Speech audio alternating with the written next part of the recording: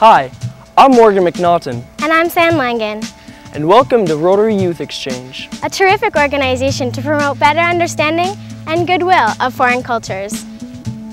As you can see, we both just got back from our exchanges, and they were great.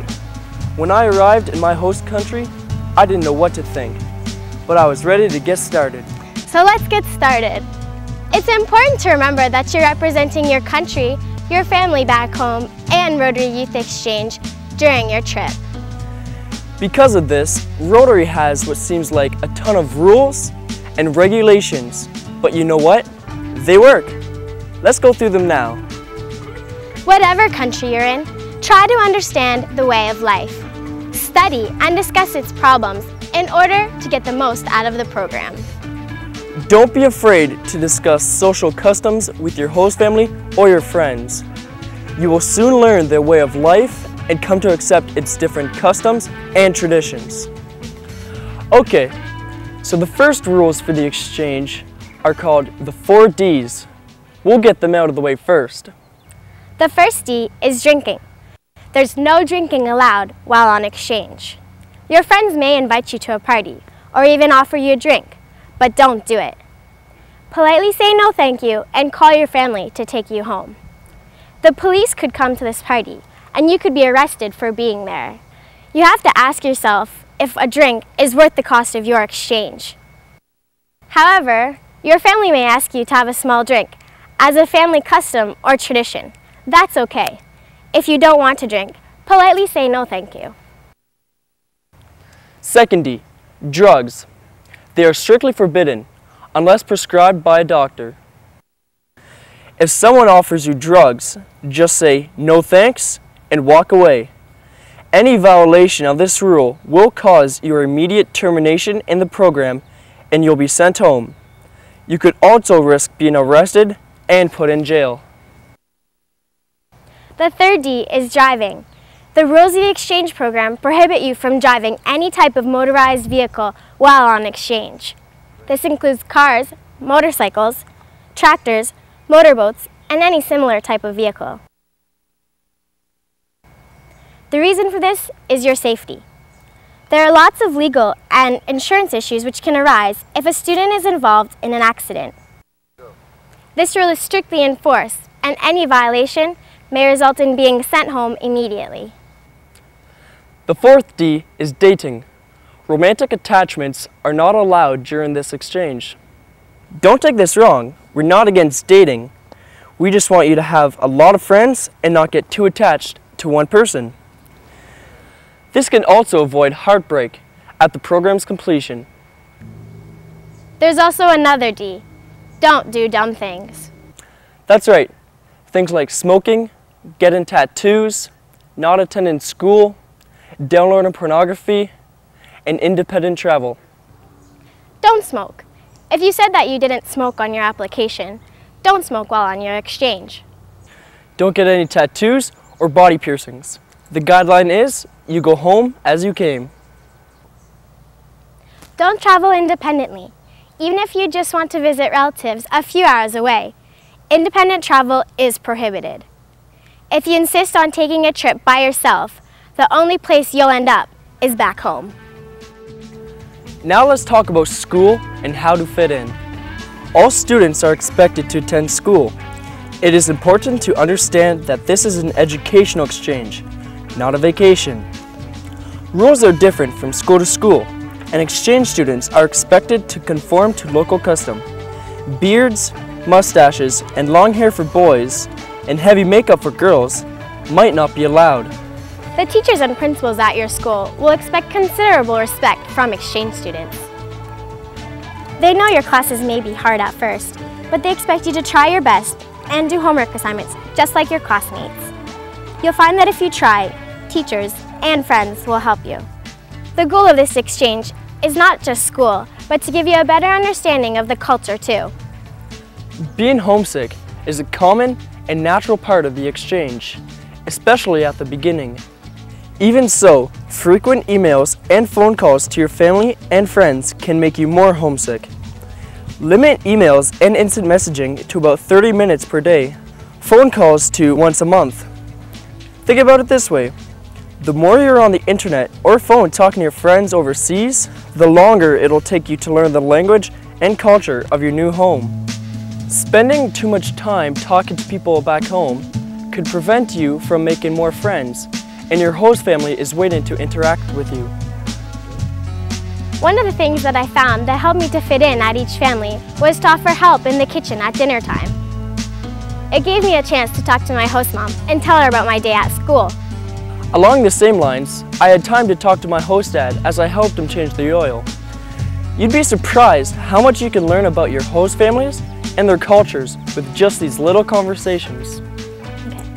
You may be asked to attend a religious service. See this as an opportunity to experience some more of the culture. If you feel uncomfortable with this, talk to your counselor.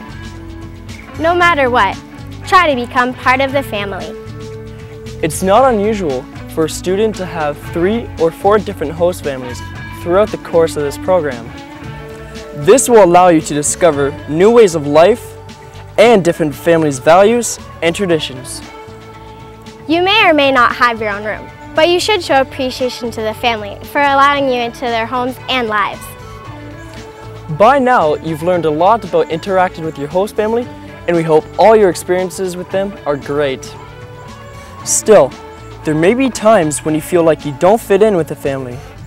If you're experiencing a problem, discuss it with your host family first. If things aren't better after a few days, talk to your counselor. You should never speak negatively to your friends or other exchange students about any of your host families even in chat rooms or blogs.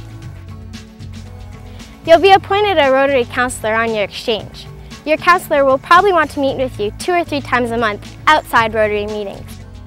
Get to know your counselor well. They're there to help you with school, finances, personal problems, and any other issues that come up. As part of the program, you are required to bring an emergency fund with you as specified by your host Rotary District. Typically, this is between 250 and 500 US dollars. The purpose of this money is to cover any emergencies that may arise, as well as the cost of major events like travel. The fund is not meant to be used for day-to-day -day costs, and if needed, your parents will be responsible for replenishing it during the course of the program. The district committee will arrange several meetings for you to travel and meet other exchange students. Attendance at some of these events is considered mandatory. Another option for travel is to enroll in the Rotary-approved bus excursion. Before you sign up for this outing, you need permission from your host club and your parents. Contact your counselor for more information. On a more serious note, we have to talk to you about a topic that will most likely never happen on your exchange. Sexual abuse. If you think you've been sexually abused, tell somebody like your counselor or a district chair. If nothing happens, keep telling them. Make them understand you're serious. Your district will provide you with an official list of people to contact if you feel you've been sexually abused. Here are a few definitions that you need to know. Sexual abuse. This includes forcing or encouraging someone, regardless of age or gender, to engage in implicit or explicit sexual acts alone or with another person. Sexual abuse examples are varied and range from strong physical offenses to indecent exposure or expecting a student to look at sexual or pornographic material. Sexual harassment, not as severe as abuse, refers to sexual advances, requests for favors, or verbal or physical conduct of a sexual nature. Harassment is often a technique used by sexual predators to desensitize or groom their victims for abuse. Examples of sexual harassment range from sexually explicit jokes to physically touching or brushing. While at the museum with his exchange student, Mr. Smith spent an unusual amount of time taking Sharita around to see sexually suggestive objects. When Jose got ready for bed, Mrs. Jones would stop by his room, leer in, and she would give a suggestive sound, hinting he was very sexy.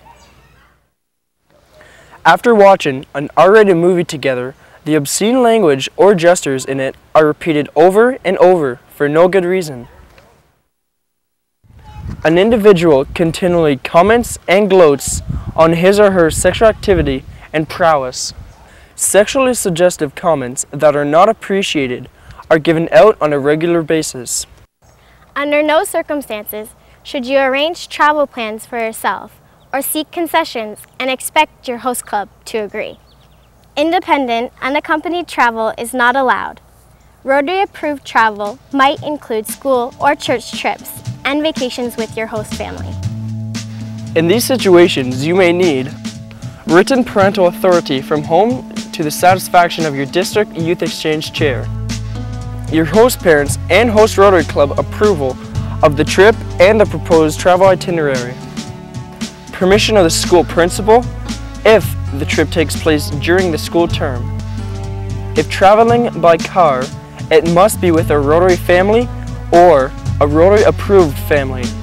Overnight accommodation must be provided by Rotarians at each stopover. Remember, long distance travel by yourself in buses or trains is not permitted. Students are only permitted to fly by registered commercial airline.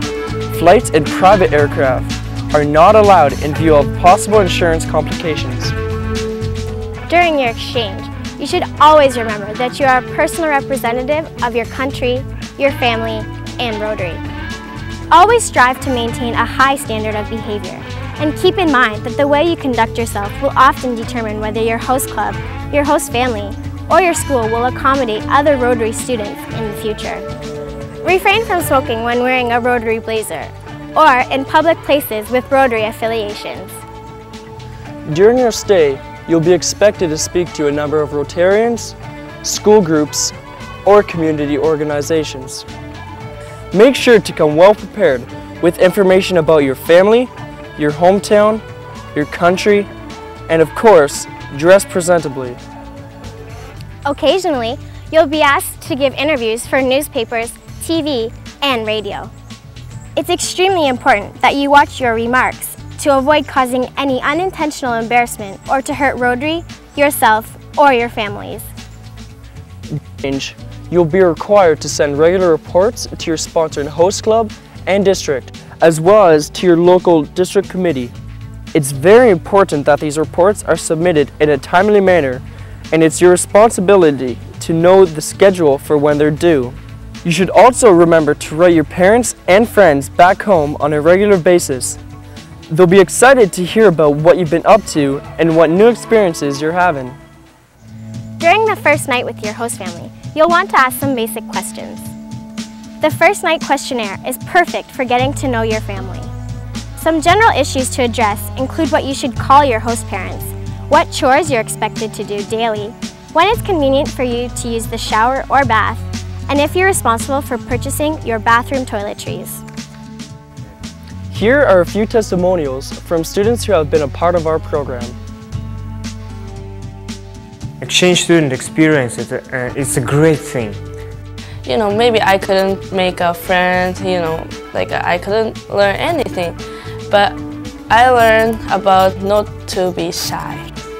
Go around, see different things, try everything from a different culture. As you getting to know country better, as you getting to know language better, you gain friends, you gain experience, you gain, you gain knowledge, everything. I made a lot of friends, not just American, mm -hmm. like uh, you know, I made a lot of exchange students too. Mm -hmm. So from Italy and Taiwan, Chinese, and so I can go to, I can visit them anytime. You know, that's just a surprise. So you yeah. know, the host me. Uh, my host family is the kindest persons in the world. They became to me like a second family. I, I get to know them uh, better, uh, they get to know me better and like look and I made so many friends. I have like a lot of friends. It's just crazy. Everybody knows me in the school. I don't even know everybody, but everybody knows me. In the hallway, people just wave at me and say, hey, Caroline. And I'm like, hey, you, I don't know your name, but hey.